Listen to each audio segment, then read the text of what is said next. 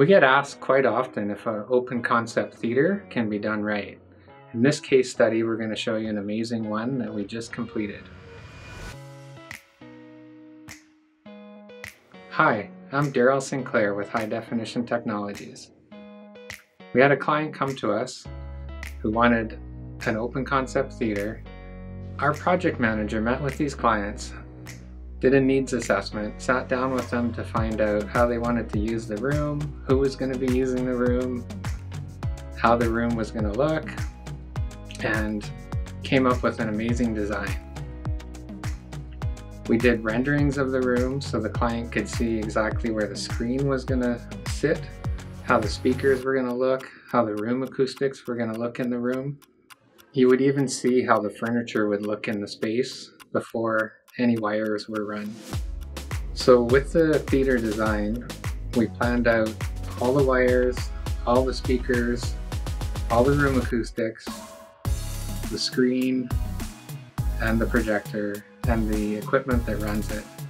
Um, one of the biggest concerns is we wanted it to be easy to use. The client wanted to be able to come to the theater room, sit down, and just basically hit a button that says watch, theater or watch Netflix or watch Amazon Prime. So simplicity was the key. So the project manager came up with a design that the client loved, the designer loved, and you'll see from the photos that the rendering and the final product is almost identical in every detail.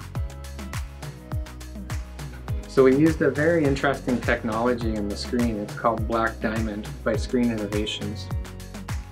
It actually rejects ambient room light, so you can watch the projector with the lights on in the room, and the screen is only reflecting back what's coming from the projector.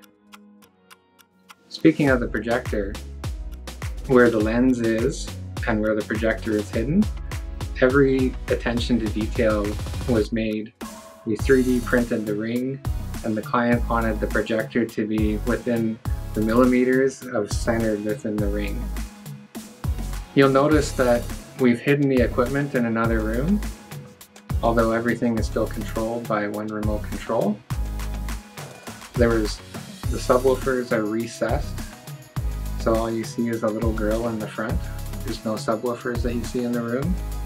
And the screen, the speakers we actually hid behind the screen. It's an acoustically transparent screen, so it doesn't affect the sound of the speakers at all.